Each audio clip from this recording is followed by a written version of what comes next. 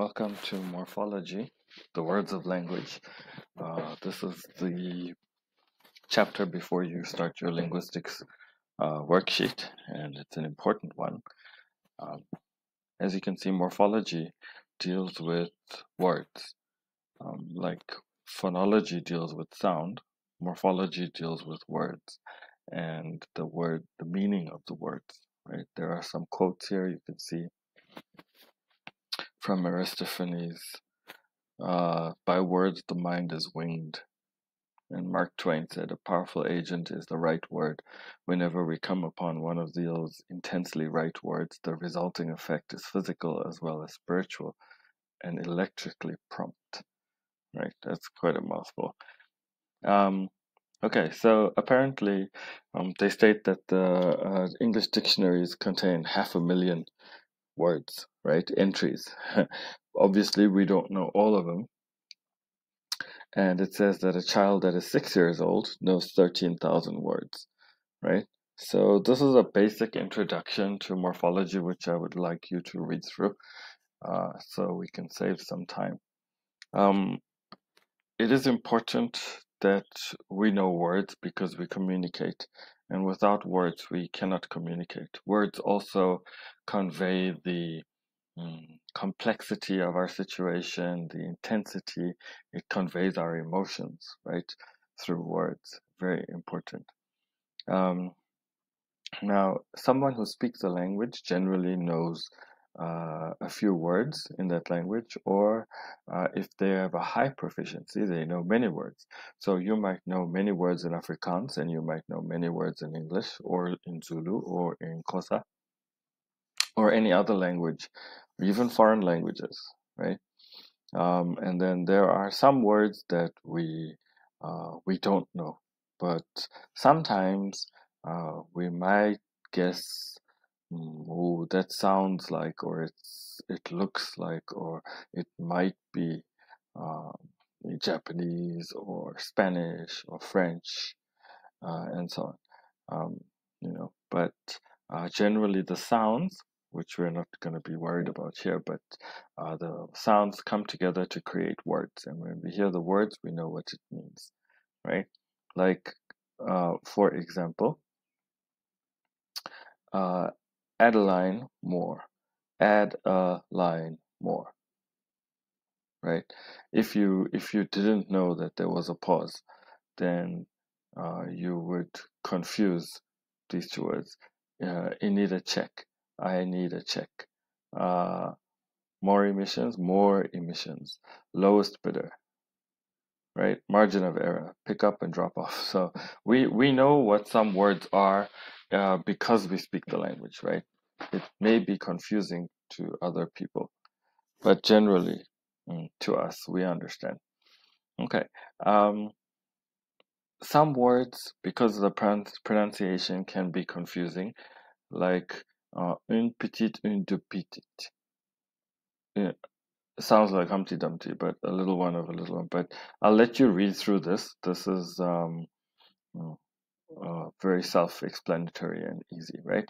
Now we have different classes of words in our minds, right? We call those the grammatical category or the syntactic class of word. So noun, pronoun, verb, adjective, adverb, preposition, conjunction, these are all grammatical categories or syntactic classes, right? Which you you already know, right? The difference between a verb, adverb, uh, and so on. So we come now to two kinds of words that we are going to be dealing with, oh, uh, content words and function words. Now, content words such as uh, objects, actions, attributes, etc., um, are class are described by nouns, verbs, adjectives, adverbs. Right? We call these content words. Okay, that's pretty simple.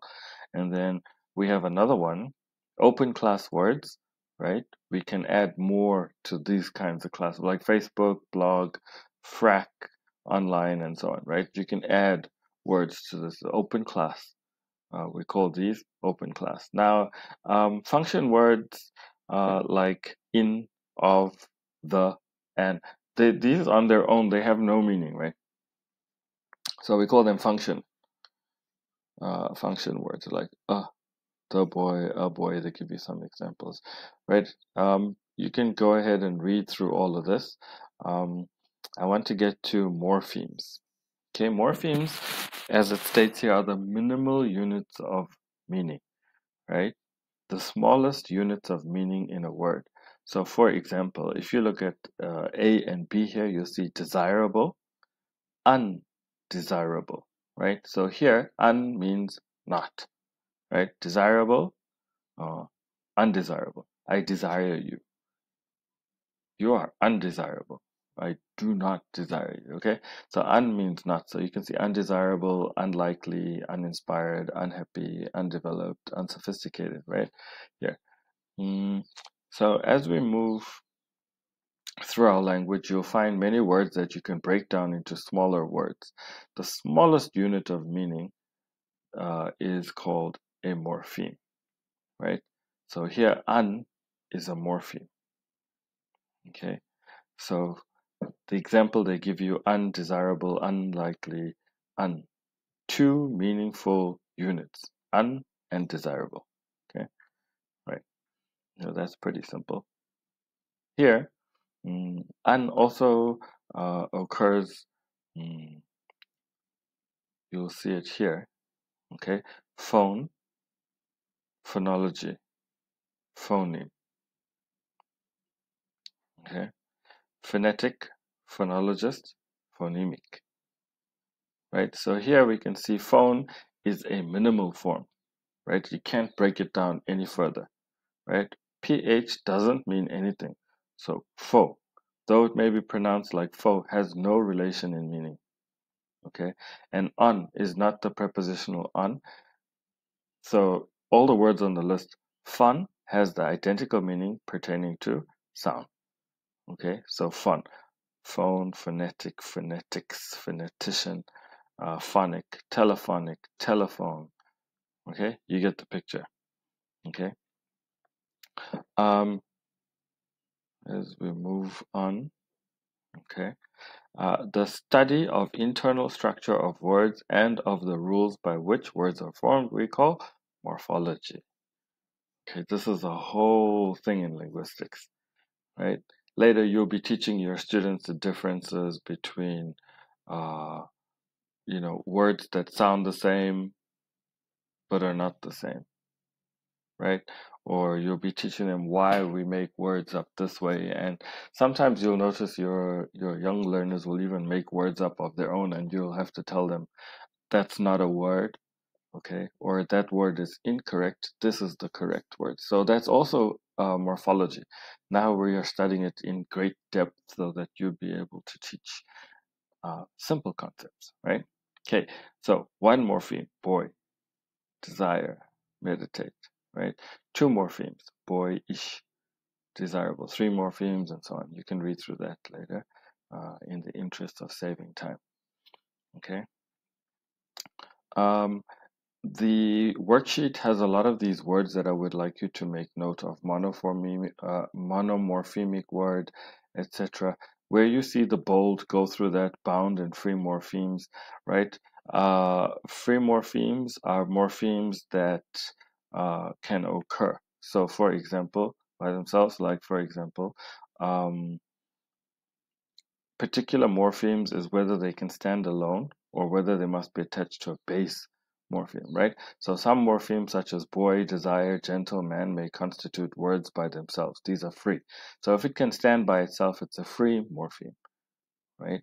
But other morphemes like ish, ness, ly, pre, trans, and un can't occur by themselves, right? So we call these affixes bound morphemes, right? They have to mix or join with another word to have meaning. On their own, they have no meaning. Okay, prefixes and suffixes, this is easy. You probably all know this. Pre means before, suffix means after. So pre, meditate, prejudge, those are prefixes, right? Suffixes are like they occur after, like for example, sleeping, eating, running, climbing, right? Suffixes. You can read through this section. This section is pretty simple.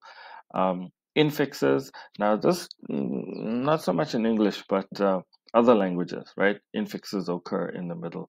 You can read through these through as well. Okay, circumfixes uh, the both at the beginning and at the end. Also read through this. Um, roots and stems, right? A root of a word, um, like for example, paint, painter, er, right? Two morphemes here, one morpheme here. So this is a root, and this is called a stem, right? You can read through this. This is also pretty easy, right? So uh, root, Chomsky, stem, Chomskyite, and so on. And then they give you the the whole breakdown here. You can look through it slowly when you have time. Um, bound roots, similar to what we discussed. Okay, the rules of word formation. Um, you can read through this. It's not necessarily necessary for you to know this in great uh, detail. Um, derivational morphology, right? A derived word. You can also uh, read through this like boyish, virtuous, Elizabethan, picturesque, affectionate, and so on. These are all pretty simple morphology uh, rules. As you go through your worksheet, you can read through chapter two, and chapter two will help you uh, to figure out what the worksheet asks you to do, right? Um, okay. Um, the inflectional morphemes uh, are here, as you can see, S, E, D, and it gives you the tense, the past participle, plural, and they give you some examples, also pretty straightforward. Uh, I'd like you to read through all of this as well. Um, now the section, this section you can skip, okay? We're not going to be covering this in great detail because it doesn't impact you, but uh, from page 48, okay, mm, from page 48 uh, to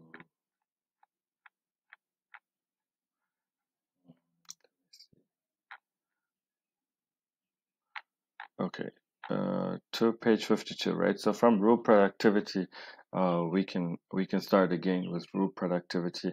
Uh, the un is very important and the uh, the uh, processes for making words right? You can read through this and it's also going to help you with your uh, worksheet okay? Um, and some of this will appear in your exams especially the words that are in bold like accidental gaps in terms of definitions and things and so on right? And then other morphological processes uh, back formations right? Mm, so for example peddle was derived from peddler on the mistaken assumption that the er was the agentive suffix, right? Such words are called back formations. Do you understand?